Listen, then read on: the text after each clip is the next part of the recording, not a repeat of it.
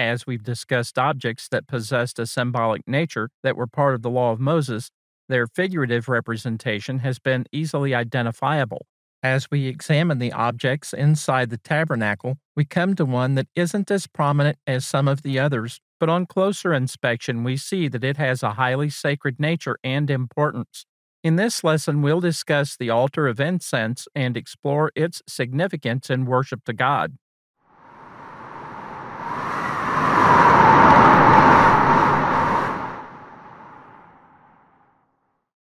When we think of the altar of incense, one event usually comes to mind the sin of Nadab and Abihu, the sons of Aaron. We'll talk about that in a few minutes, but we want to focus on the object at the center of that story. The altar of incense is one of the items that gets neglected in most studies. One reason might be that figurative elements are more obscure and harder to connect to it. Another reason might be the apparent simplicity of the altar and how it was to be used. They put coals in it and burned incense on it. End of story. Or is it? Today, there are religious bodies that burn incense as part of their worship. This is interesting since there are no examples in the New Testament of incense being used, commands to use or make incense, or any record of the early church following such a practice. The history behind the practice is interesting, but we'll save that for another series and lesson. The first thing I can point out is that this was limited to the law of Moses and restricted in practice and usage. While we may find it difficult to understand this object and what it meant, there's ample evidence in the scriptures for us to uncover that will enhance our knowledge of this practice. In this lesson, we'll discuss God's command to make the altar of incense, its materials and dimensions, the incense itself and how it was to be made, usage and limitations for the incense and altar, burning incense as a sign of departure from God, figurative representations involving the incense and its holiness, and what we can learn from this today. Let's take a look at each of these. God commanded Moses, And thou shalt make an altar to burn incense upon. Of shittim wood shalt thou make it. A cubit shall be the length thereof, and a cubit the breadth thereof. Four square shall it be, and two cubits shall be the height thereof. The horns thereof shall be of the same, and thou shalt overlay it with pure gold, the top thereof, and the sides thereof round about, and the horns thereof, and thou shalt make unto it a crown of gold round about. And two golden rings shalt thou make to it under the crown of it by the two corners thereof, upon the two sides of it shalt thou make it. And they shall be for places for the staves to bear it withal.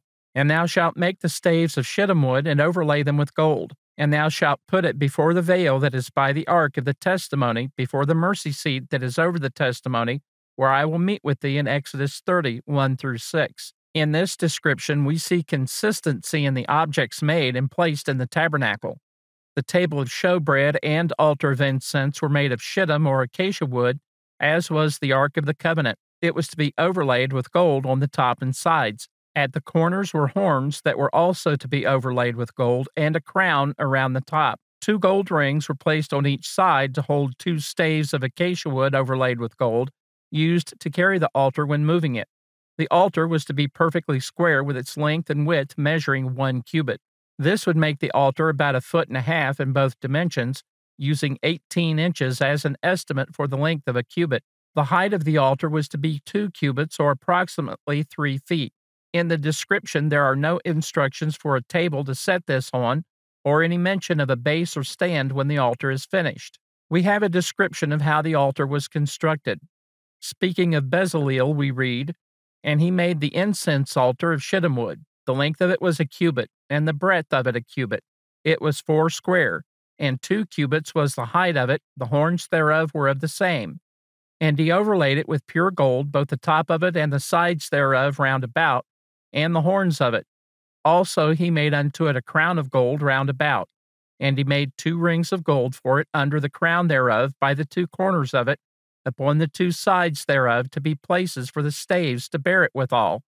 And he made the staves of shittim wood and overlaid them with gold in Exodus 37 1 and 25 through 28. Once more, there isn't anything said about a table or stand for the altar to sit on. On the day the tabernacle was set up, the altar of incense was placed in the area decreed by God, And thou shalt set the altar of gold for the incense before the ark of the testimony, and put the hanging of the door to the tabernacle in Exodus 40 and verse 5. This follows installation of the ark of the covenant, table of showbread, and lampstand, which were on the sides of the veil toward the north and south. The altar of incense was to be placed in a position that appears to be in line with the ark of the covenant between the table of showbread and lampstand. It appears that it may have been freestanding, although it was only three feet high. Now let's take a look at how the incense was made and used.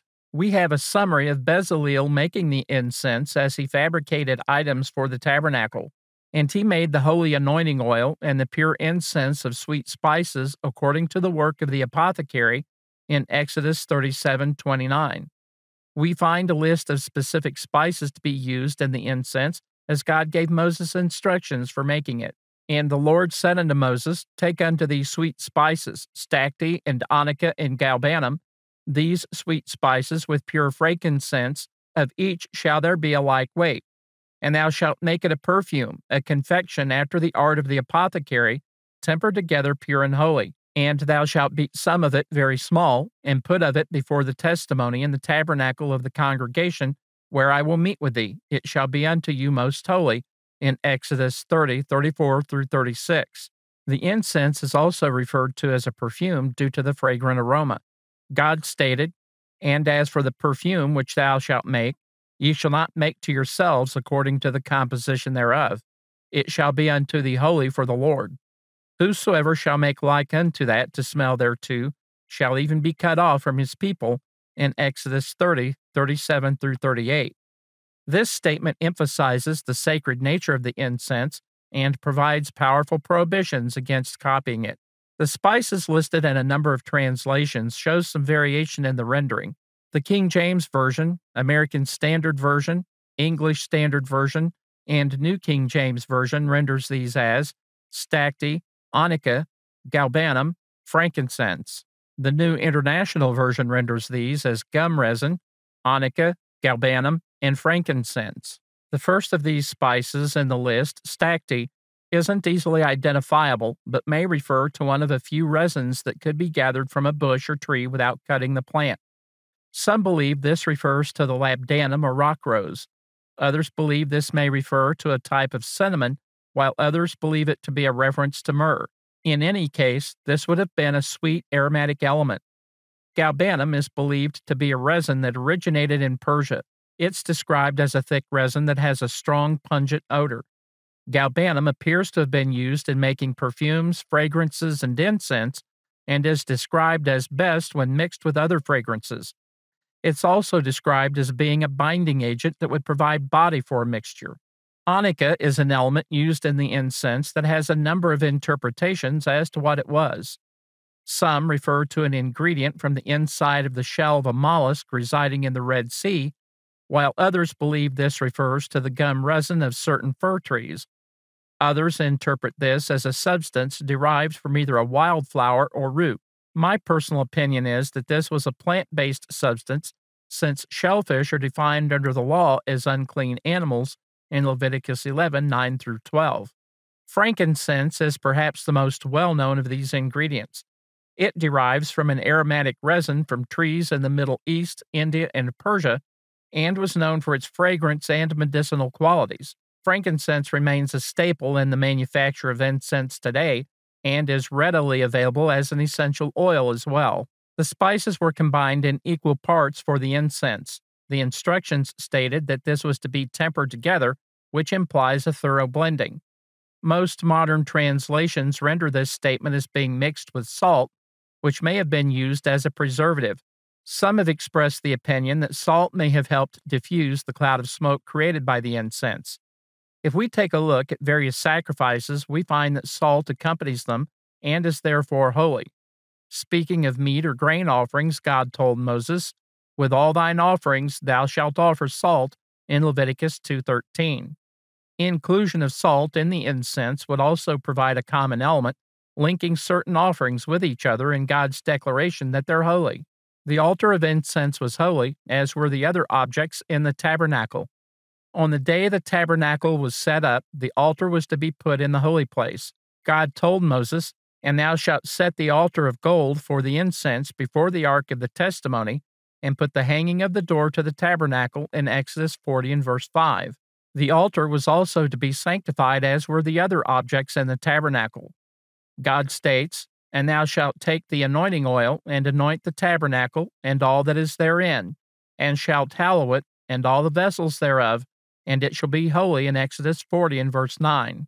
God provided instructions on how the altar of incense was to be used. And Aaron shall burn thereon sweet incense every morning. When he dresseth the lamps, he shall burn incense upon it. And when Aaron lighteth the lamps at even, he shall burn incense upon it, a perpetual incense before the Lord throughout your generations. In Exodus 37 through 8.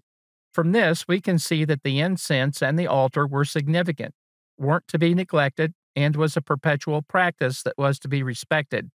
There were also restrictions and prohibitions regarding how the incense and altar were to be used. God told Moses, Ye shall offer no strange incense thereon, nor burnt sacrifice, nor meat offering, neither shall ye pour drink offering thereon, in Exodus 30 and verse 9. The altar of incense was reserved for the single purpose of burning the holy incense. As we'll see in a few minutes, there were some notable violations of the altar and the incense that brought about some very negative consequences. The holy nature of the altar is also seen in the instructions for the Day of Atonement. God states, And Aaron shall make an atonement upon the horns of it once in a year with the blood of the sin offering of atonements. Once in the year shall he make atonement upon it throughout your generations. It is most holy unto the Lord. In Exodus 30 and verse 10. This makes the altar of incense significant, as it is to be hallowed with the blood of atonement every year. This is the blood that was to be taken into the most holy place and offered before the mercy seat. This forms a link with the sacrifices, altar of burnt offering, blood of atonement, and the mercy seat, as we can see in the tasks that were to be performed on the Day of Atonement. On the Day of Atonement, Aaron was to make an offering for his own sins before presenting the blood before the mercy seat. God states, and he shall take a censer full of burning coals of fire from off the altar before the Lord, and his hands full of sweet incense beaten small, and bring it within the veil. And he shall put the incense upon the fire before the Lord, that the cloud of the incense may cover the mercy seat that is upon the testimony that he die not, in Leviticus 16 12 through 13. Burning the incense before the Lord on this day connects it with the future forgiveness of sin and God's concealment of mercy reserved for the time when the Messiah would be revealed. The Day of Atonement also helps us understand other conditions under which the incense was used. The altar of incense was the primary place where the incense was burned, but we see that provisions were made for it to be used in other applications as instructed by God. As we read from the procedures for the Day of Atonement, censers were made to accommodate this. To burn incense in the presence of God, there would be a need for portability. In that sense, the censer was an extension of the altar of incense and would be recognized by God when used correctly. The use of the censer also brings up some questions about how the incense was burned. In order to burn incense, there was a need for coals. There are no instructions for placing wood on the altar of incense, but the text implies that coals were present. There's a question then of where the coals for the altar and the censers came from. The altar of burnt offering was used constantly and would have a ready supply of coals that could be used on the altar of incense or placed in a censer. In procedures such as those for the Day of Atonement, the priest would have offered a sacrifice in order to bring the blood into the tabernacle. The coals would be available from the altar of burnt offering, and in a practical sense, this would be efficient and guarantee a supply of coals for the altar of incense and any censers to be used. Although it's possible that the text simply omits instructions for using wood to create coals on the altar of incense, this seems unlikely in my opinion, but is a possibility. It appears more reasonable to think that the coals or fire came from the altar of burnt offering. Some might object to that idea since the altar of incense wasn't to be used for meat, burnt, or drink offerings, as we read a few minutes ago. However, live coals from the altar of burnt offering would have consumed the sacrifices or blood, purifying them, and so wouldn't contaminate the altar of incense. In the absence of instructions for using wood on the altar of incense, coals from the altar of burnt offering would make sense. Instructions for preparing censers for use may also have included taking coals from either the altar of burnt offering or could have been taken from what was already in use on the altar of incense. If the coals came from the altar of burnt offering, this would provide another figurative link to the sacrifices and wouldn't violate God's instructions. As we read of the procedures the priest would follow on the Day of Atonement, we usually have an image of the priest carrying the censer into the most holy place with smoke from the incense rising from it.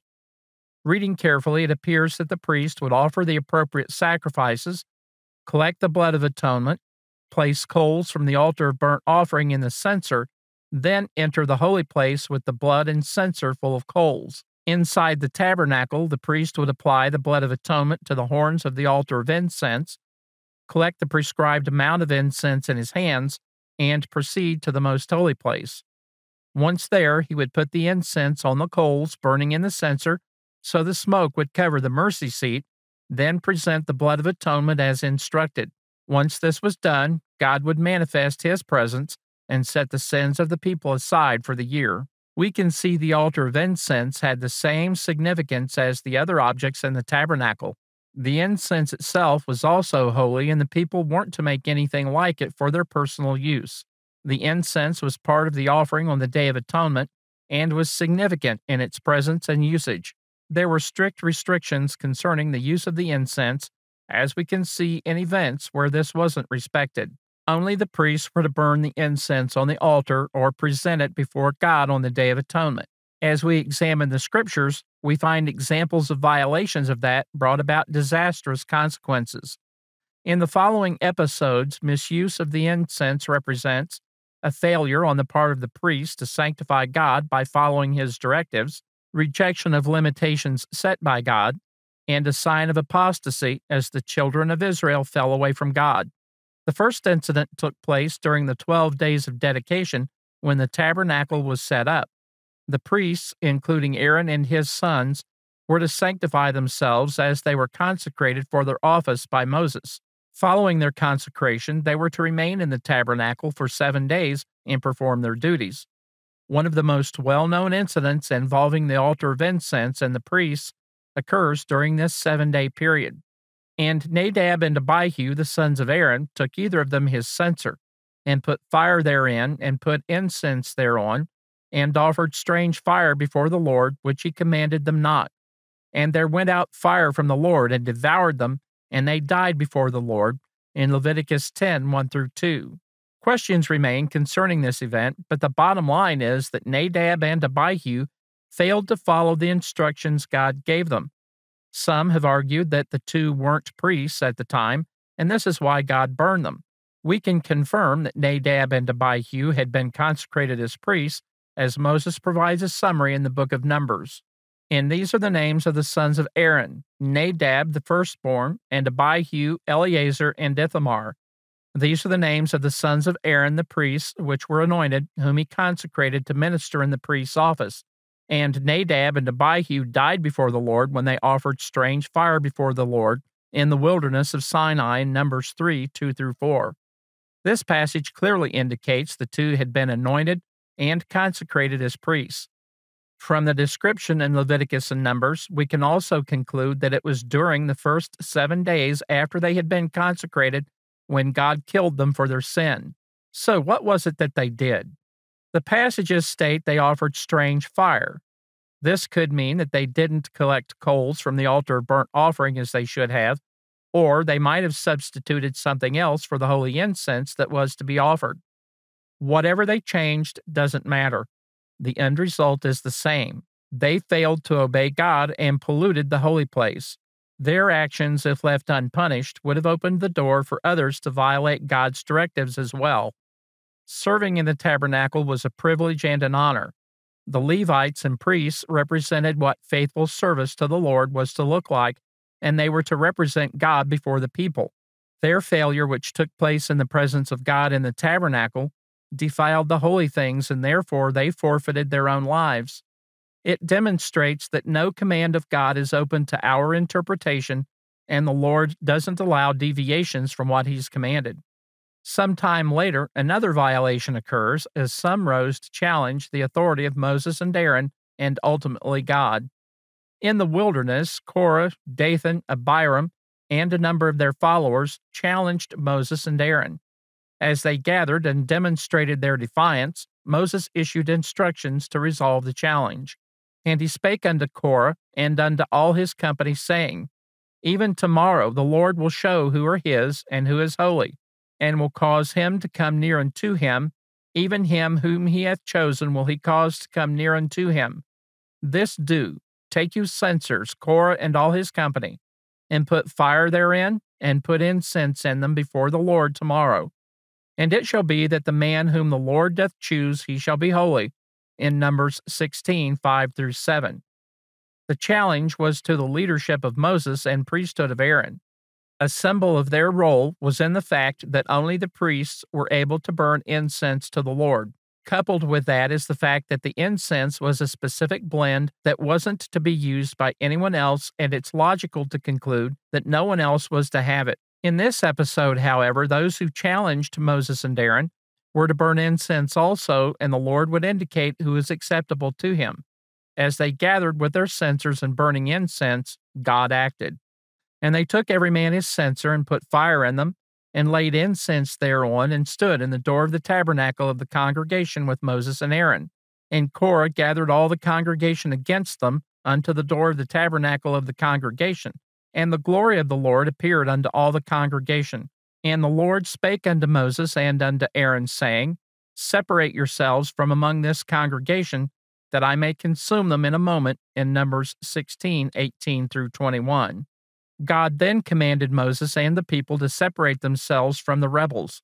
Moses stated that a sign would be given to prove that God had sent him by doing something that hadn't been done before in Numbers 16 and verse 30. And it came to pass, as he made an end of speaking all these words, that the ground clave asunder that was under them, and the earth opened her mouth and swallowed them up, and their houses, and all the men that appertained unto Korah, and all their goods they and all that appertained to them went down alive into the pit, and the earth closed upon them, and they perished from among the congregation.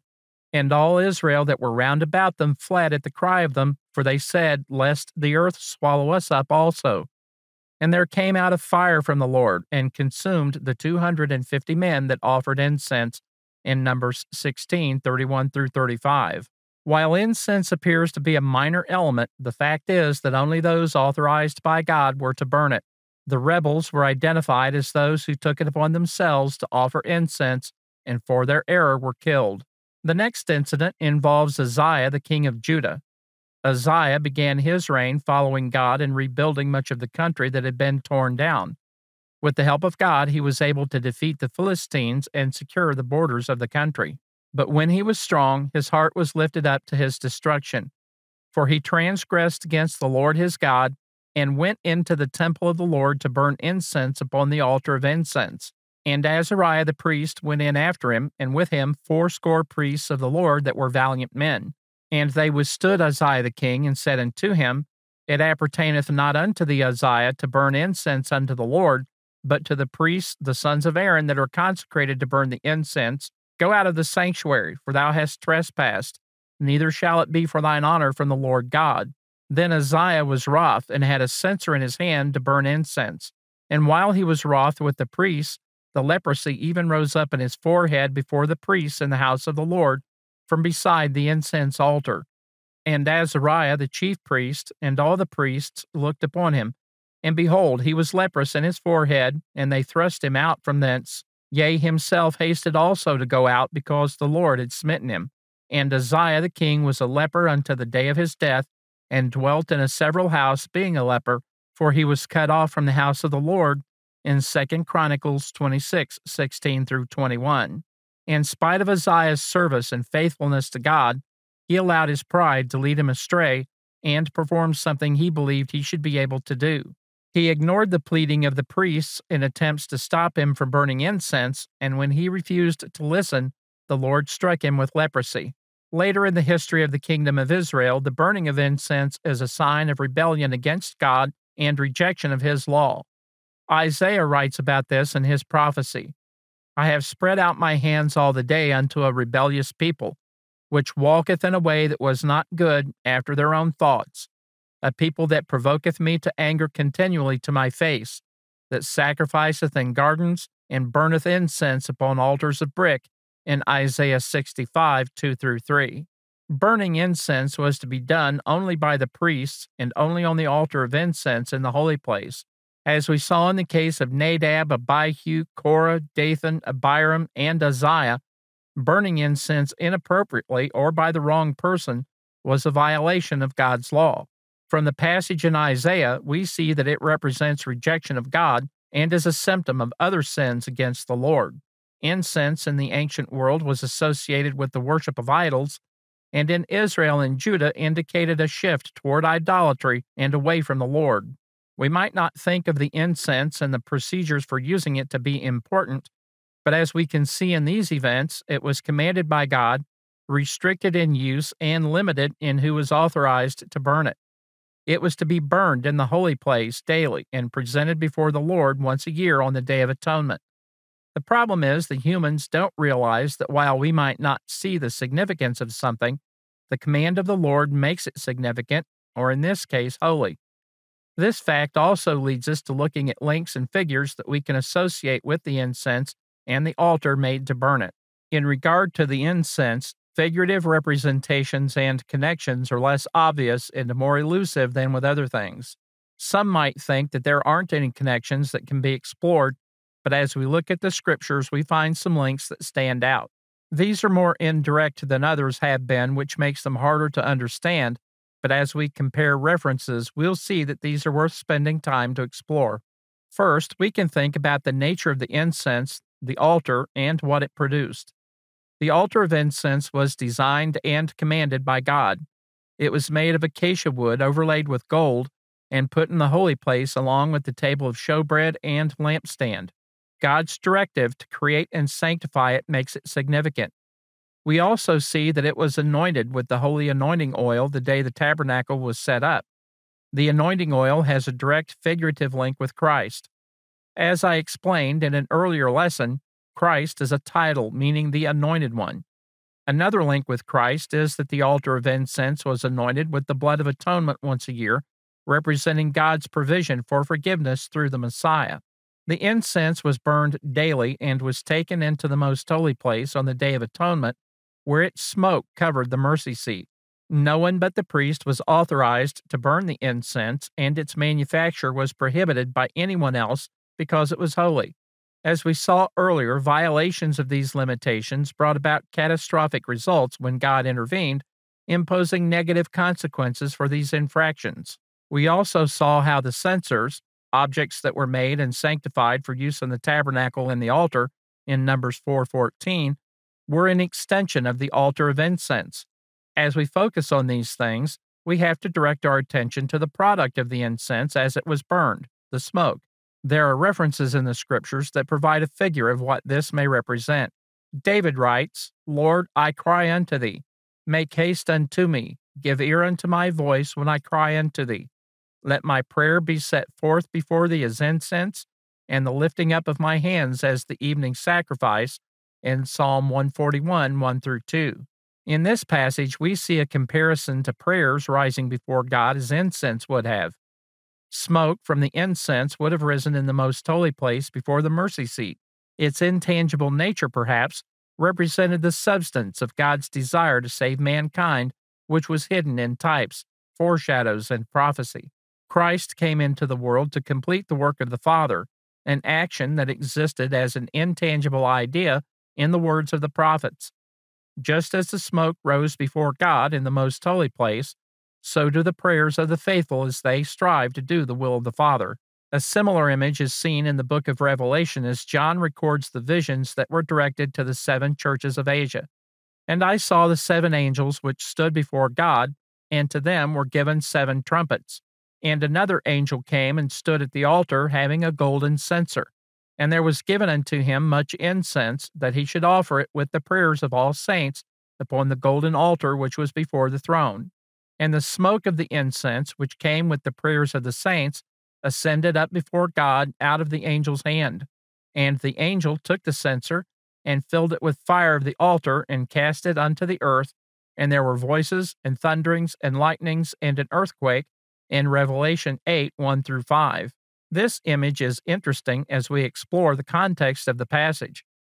We know that the book of Revelation is expressed in signs or symbols, non literal statements meant to convey Christ's message. In this reference, we see a golden censer with much incense, whose smoke rose with the prayers of the saints. The book was written to a group of congregations in a region where persecution was increasing. Some had already died as a result, and one of the messages in the book was that God would judge the persecuting power and reward it for its evil. Here we see incense rising before God, just as the incense rose in the most holy place, and with it are the prayers of the saints who struggle to remain faithful in spite of extreme hardship. It's interesting that the scene changes. The censer that contained incense is then filled with coals from the altar, which is cast into the earth, representing a judgment directly from the presence of God.